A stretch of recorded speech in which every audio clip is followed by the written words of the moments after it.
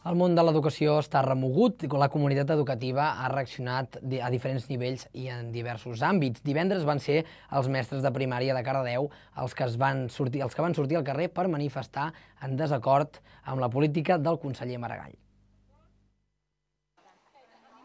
Cartells com aquests demanant la dimissió del conseller Maragall van omplir la plaça Sant Joan.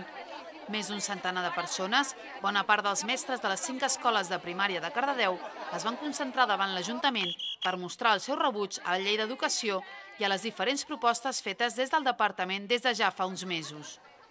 Les nostres queixes és que no ens, no ens informen de res, aleshores estem en contra de l'ampliació d'horari perquè suposa reducció de preparació de classes, reducció d'hora de, de reunions amb la resta dels companys, estem en contra del calendari eh, nou escolar perquè no s'ha fet de pressa i corrents i aleshores això afecta doncs, bàsicament a les famílies. Les reivindicacions dels mestres es basen en set punts.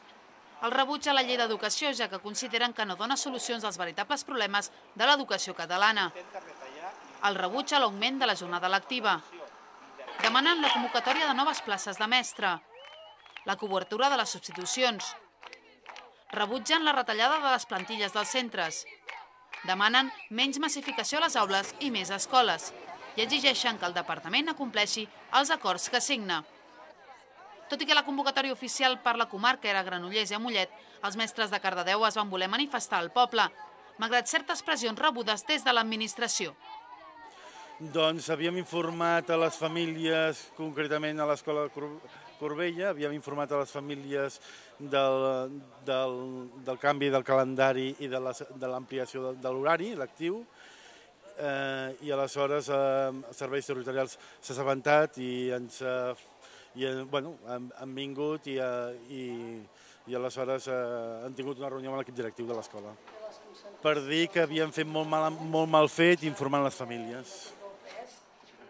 De moment, els mestres concentrats van entregar el document que resumeix les seves reivindicacions a la regidora d'Educació i alcaldessa mitjançant una instància. I continua convocada una nova vaga del sector de l'educació pel proper 19 de març.